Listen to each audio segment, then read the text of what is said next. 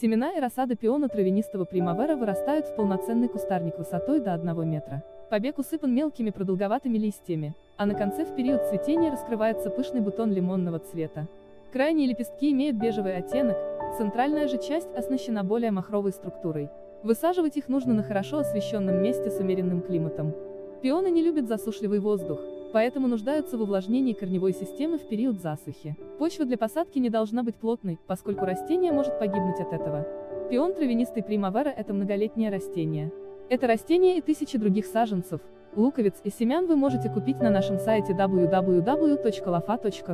Если вы просматриваете это видео на YouTube, то ссылку для покупки этого растения можно найти в описании под видеороликом. Ставьте лайки, подписывайтесь на наш канал, и вы первыми узнаете о новых растениях для вашей дачи.